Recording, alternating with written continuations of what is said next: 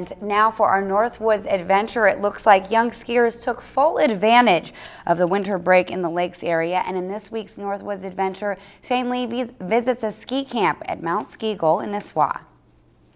Nearly 200 young ski fans hit the slopes to get a handle on this slippery sport. Easy. Mount Ski-Gull held two basic ski camps and one alpine ski camp over the holiday break.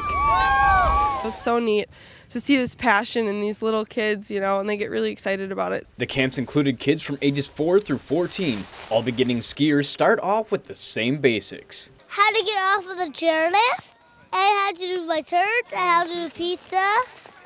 I've learned a lot. Pizza and french fries, things that they can relate to, um, kind of helps them understand what they're supposed to do. Pizza position allows the skiers to move slowly and stop, while french fries position increases the speed.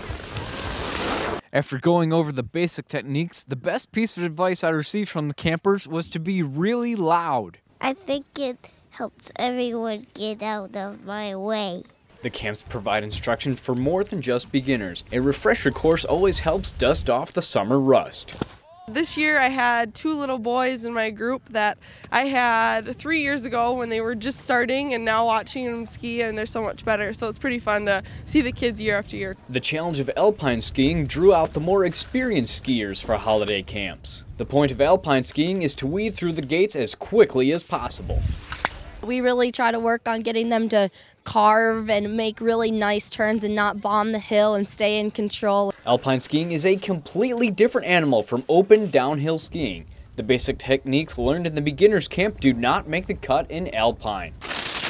We really tell them to not pizza and do french fries and to really push on their outside ski and try to have as much weight on that outside ski as they can and not the inside ski so they don't tip over. While most people strive to reach the top of their field, alpine skiers long for the plummet to the bottom. I like just going down the hill and making those turns and it's just so much fun. That's one way to make the most of a Minnesota winter. Shane Lee, Lakeland News.